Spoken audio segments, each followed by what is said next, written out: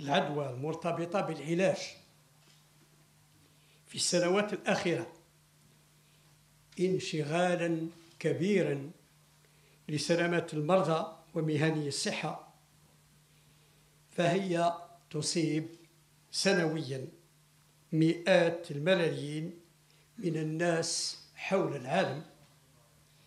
فإن هذه هذه العدوى المرتبطة بالعلاج والتي تتسبب في أمراض خطيرة وتمدد الإقامة في المستشفيات وقد تصل يصل الأمر حتى إلى في بعض الأحيان إلى الوفاة.